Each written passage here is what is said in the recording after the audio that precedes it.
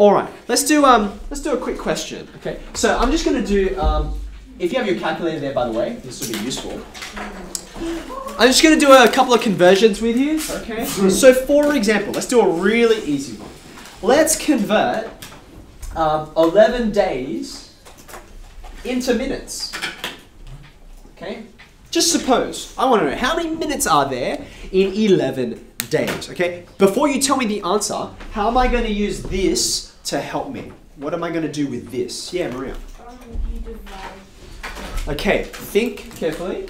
Minutes are really small units, aren't they? Compared to days anyway. So my number, should it get smaller or bigger? Bigger. It should get bigger. There's lots and lots of minutes, not many days. So I should be multiplying. Do you see why I'm multiplying? I want this number to be huge. Now, before I get an answer, how does this diagram tell me what to multiply by? Someone tell me how to use this diagram before they tell me the answer, because that's the important part. Which two units were you using? Days and minutes. So to get from days to minutes, I have to multiply by 24, and then I have to multiply by 60. Does that make sense? So now I can write this down, 11 times 24 times 60. So the answer is Nine, 950,400. 950,000. I think. I might be wrong. 15,840. Okay, hold on, hold on. So far off. Let me rewind. 15. I didn't have a calculator. 15,840. Thank you.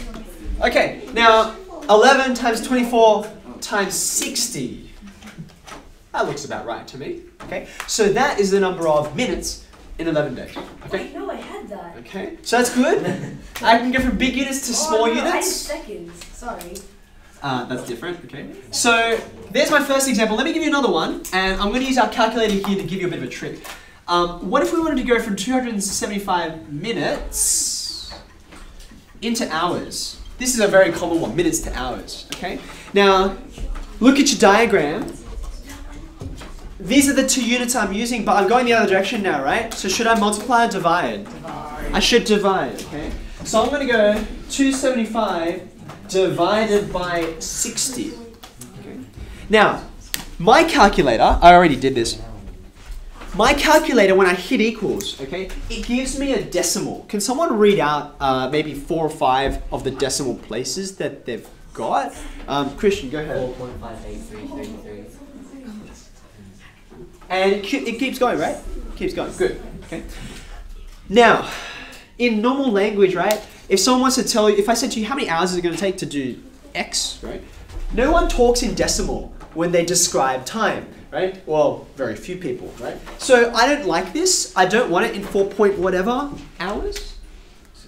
I want this in hours and minutes. That's a normal way to do this, okay? So how am I going to convert this extra bit into minutes? Suggestion. Four and a half hours. It's pretty close to four and a half, isn't it? But that's some some really big rounding you've done, right? And not only is it big rounding, I've actually rounded it wrong because it'd be four point Oh, six, sorry. which is yeah, but it's close, isn't it? Okay. So I've got a better trick for you. Okay, you got your calculator there, yeah? No, I don't have a calculator. Okay, well, you got close. On your calculator, I want you to remember this really cool button we used, mainly when we were doing angles. Um, it's above the button on my calculator that says ENG, right? Do you remember what that other button it's called? It's got a circle and some commas on it. What's that button called? It looks like this, right? What is this button called? I told you what it was called. Do you remember? Look at the symbols. Look at the symbols. Commas. You need to write this down since no one could actually remember. Okay? This button Is is called the degrees, minutes, seconds button, right? In fact, on some calculators, some of you might have it, the button doesn't look like this. It says DMS, which stands for degrees, minutes, seconds. Okay? Now, watch this. Make sure you've got that 4.58333. Make sure you've got it on the display. And then just hit this button and see what the calculator tells you. If you've done it right, if you're looking at it, I think it should say something like this. 4 and then there's a, a degree symbol, and then 35, I think. And then there's a, a dash, and then is there anything after this? Can you see anything? Is it zero? It's five nine. Zero? Like that? It's just nothing? Just like that? Wait, what's five nine? You're in the Oh, oh, right. 35. 35. That? Is it that? Yeah. Zero. What zero? Yeah, I'm getting. you have you done something different?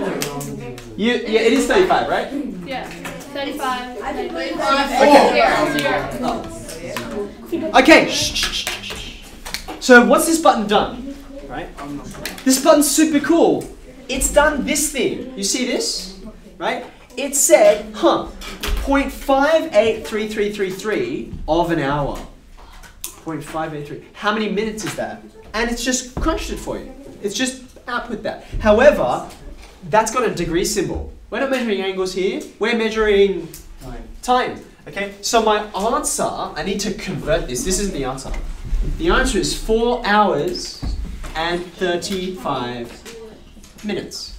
Okay, so there are other ways to do it, but by far that's the quickest way, and I'll show you others later on.